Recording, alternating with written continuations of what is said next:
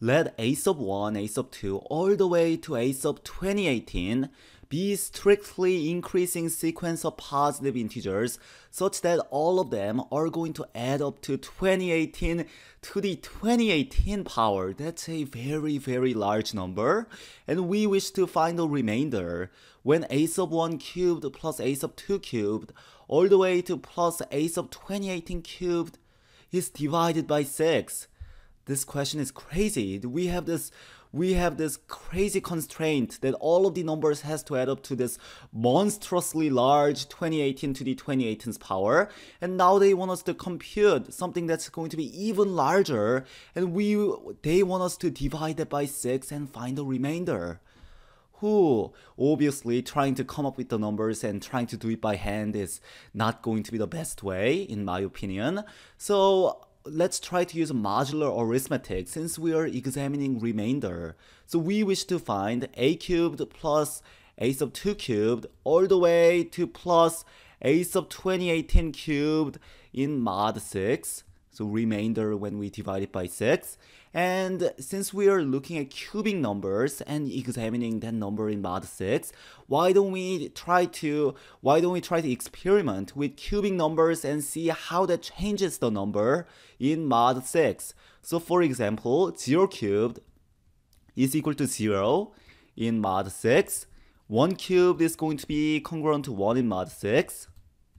And 2 cubed is 8 which is congruent to 2 in mod 6, and 3 cubed, which is 27, is congruent to 3 in mod 6, and we seem to see some pattern. It seems like when we cube 0, we're going to get 0. When we cube 1, we're going to get 1. When we cube 2, we're going to get 2. And when we cube 3, we're going to get 3 in mod 6. Let's go all the way down to 5 and see if this pattern is going to persist. 4 cubed is 64 which is congruent to 4 mod 6, and 5 cubed is 125, which is congruent to 5 mod 6. So we're done because this thing is telling us that any number cubed is congruent to the number in mod 6 because in mod 6 every number is going to be either 0, 1, 2, 3, 4 or 5 and since 0, 1, 2, 3, 4 or 5 are all the numbers we have in mod 6 what all the numbers can be represented as?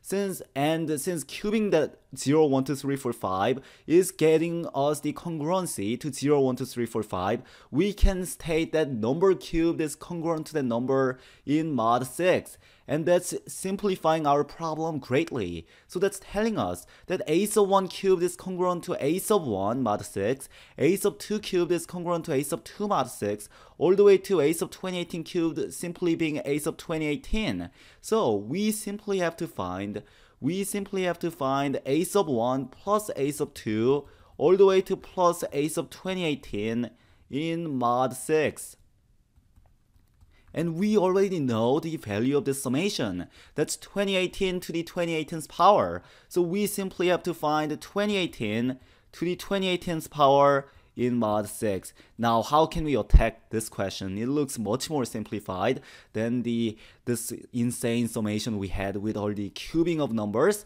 Now we simply have to find 2018 to the 2018 mod 6. Well, let's start by simplifying 2018 in mod 6 and if you divide 2018 by 6 we are going to get we're going to get 18 38 6 36 we're going to get a remainder of 2 so we know this thing is 2 to the 2018 mod 6 and how can we find 2 to the 2018's power in mod 6 well let's see if there's any pattern that we recognize about powers of 2 in mod 6 2 to the first power is congruent to 2 in mod 6 2 to the second power is when we multiply this thing by 2 or 4 in mod 6.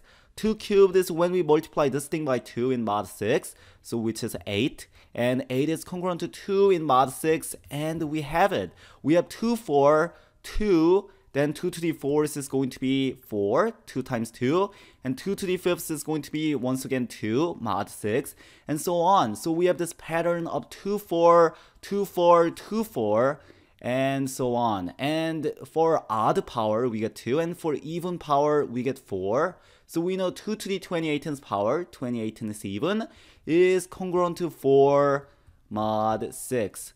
And we're done. The answer to this question, this question is 4, so E.